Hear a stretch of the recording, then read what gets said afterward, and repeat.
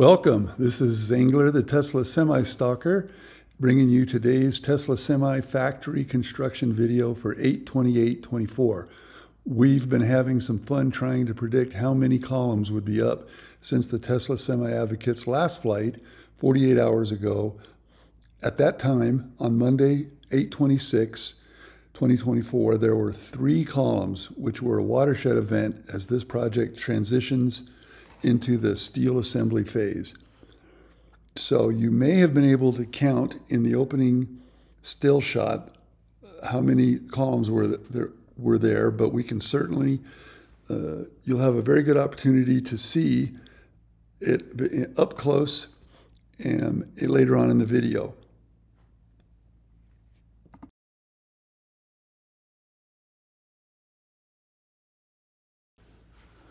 We're starting off with a um, view of the Tesla Semi factory construction site from the south looking north, a little bit southwest looking uh, northeast. And I thought we'd start the video off with here and then end with the, um, the main event, so to speak. This is the, uh, this is the uh, opening act. A lot of interesting things to see, though, as we go along the way, and we'll talk about it. A lot of activity.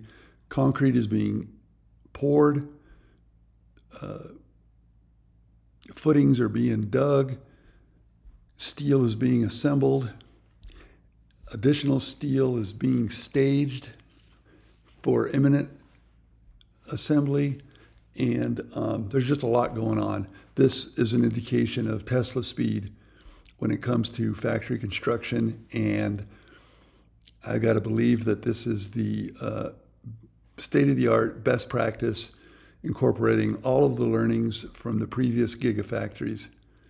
And we're going to find out as, as the uh, days and weeks and months come, we'll see this thing come to life.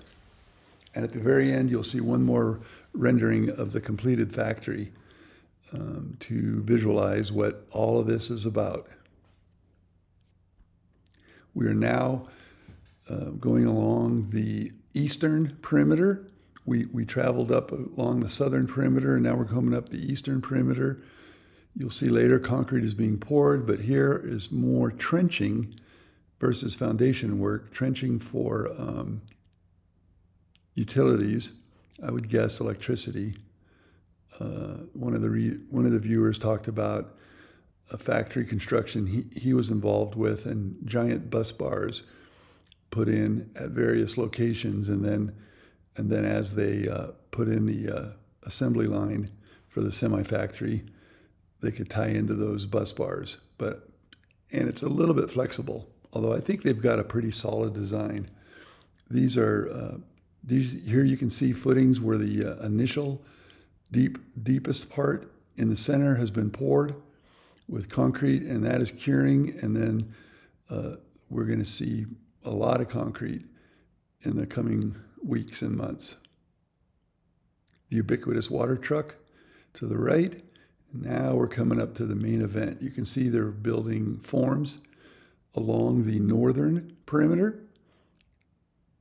Lots of concrete uh, those footings are similar to the ones we just saw, with only the bottom part was poured, but those are um, those have column bases ready for assembly. And here we go.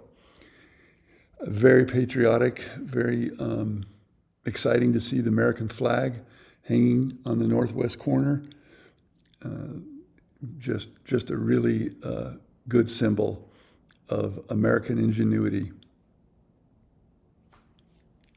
I'll leave you with a little view of this, and uh, a little later you'll get a good count, but I'll go ahead and uh, spoil it for you. There are 18 columns assembled and 17 beams connecting those columns. We did a poll earlier uh, yesterday and that ended a short while ago, and um, the uh, the, the 18 fell in the third most popular selection. One thing you'll notice that I noticed here is, and maybe get a little bit better look at it in a second, but they are staging steel on the in, interior of the um, factory here. They're going to start assembling the interior steel. As a matter of fact, I don't believe they can. Um, I think they have a lot of concrete to pour on, in both the north, uh, I should say, in the easterly direction and in the southerly direction, going to the right, before they can put more perimeter columns up.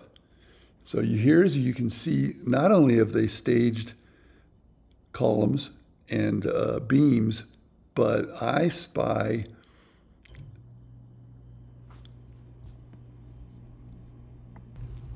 trusses. They actually have roof trusses over there. So that to me tells me something that um, I was curious about. They are not going to put all of the columns and beams in and then assemble the trusses.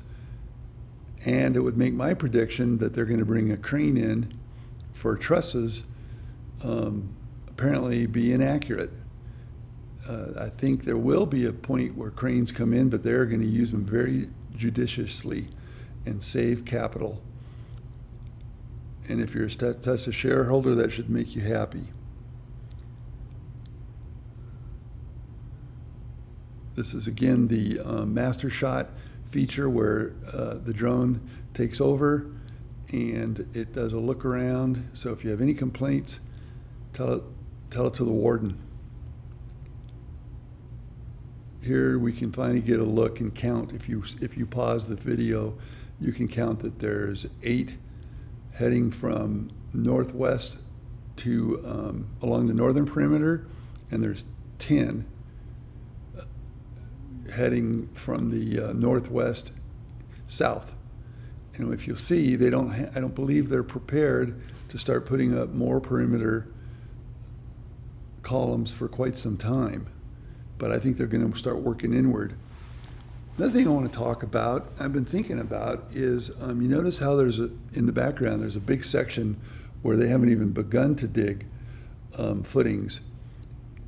Here's a quick look at the closed uh, second new entrance to the Gigafactory Nevada. Um, curious that they're not using that. All the concrete and all the construction trucks are having to come through the main gate. But um, what I was saying is, if you recall, Giga Texas doesn't necessarily have to be 100% complete, the entire building.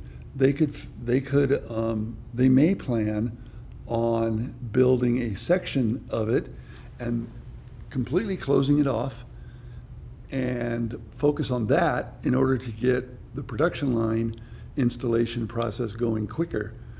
And then whatever the mystery project is that they also are going to use the factory for, that could be um, deferred. And that, that may be why you don't see footings dug um, in the uh, southeast corner of the um, footprint.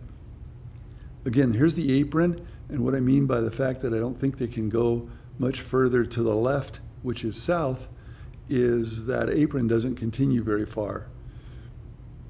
They can pour that pretty quick, and the footing's already there. We saw that they put those columns up shortly after the um, that apron was poured because the uh, footings themselves that the columns rested on or were, were attached to had been poured weeks earlier. Here's a couple of uh, concrete trucks, and um, looks like they're in the concrete pouring phase. And thank you very much for joining. We're going to uh, fly again in two days, and it'll be interesting to see what they've got going at that point. Thank you.